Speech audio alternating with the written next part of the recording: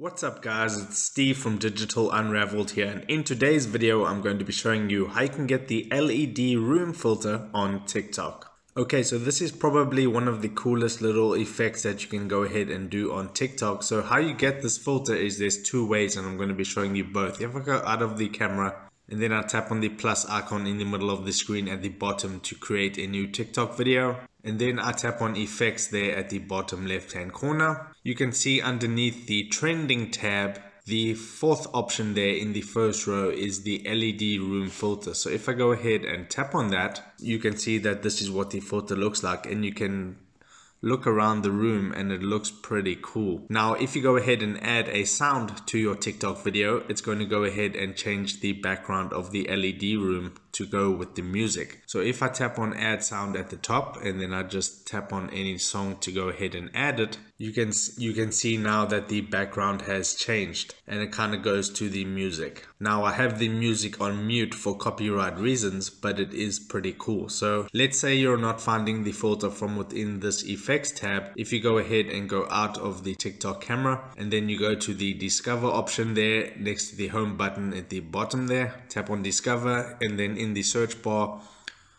you just type LED room. So I have it there. I'm going to tap on it, LED room. You can see there it pops up with the effects tab and it says LED room. You can go ahead and tap on that and then you can see all the videos using the filter. You can add it to your favorites so you can quickly get access to it later. But let's just say for any reason you cannot get to this page. What I'm going to do is I'm going to tap the share button at the top right of the page and then I'm going to go ahead and copy the link to this filter page and I'm going to put that link in the description of the video so you can just go ahead and tap on that link to go to this page. Now do keep in mind that TikTok filter aren't rolled out to everyone all at the same time. It kind of is based around your country and things like that. So if you're not finding the LED room filter, you may just have to wait a little bit until it's rolled out to your country. But another way to try and find the filter is if I go back and then I tap on videos. Sometimes you have videos here that pop up you that are using the filter, but I don't see any in this case. So I'm just going to go to the top and then tap on LED room. And then once you're on this page, you can tap the camera button at the bottom to go ahead and create your video. And then all you would need to do is go ahead and add your sound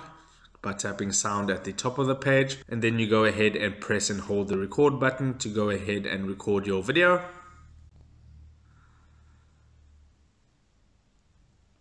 Once you've done that, tap on the tick mark at the bottom right. You can go ahead and add your effects, your text, your stickers, customize your TikTok however you would like it. Tap on next at the bottom right and then just go through the posting process. Add a description, hashtag, tag your friends, set all your settings and then you can go ahead and tap the post button. So that is how you get the LED room filter on TikTok. If this video helped you out, don't forget to like this video and subscribe to my channel so you don't miss any of the TikTok filters coming up. And with that being said, I'll see you in the next video.